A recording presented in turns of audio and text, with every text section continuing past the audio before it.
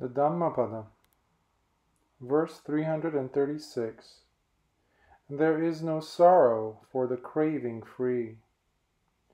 Yo che tang sahati jamming tanhang loke durachayang So soka tangha papatanti udabinduva pokhara.